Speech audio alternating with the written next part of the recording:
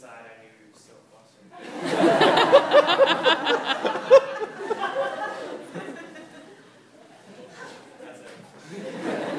Uh, Luke, and my favorite part of the trip is when we were paddling down the River, took a little detour, looked at some pictographs.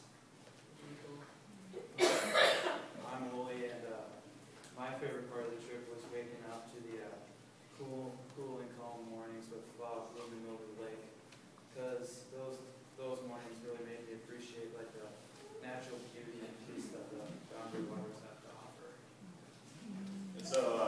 favorite part about the trip. It was pretty cool finding out that I was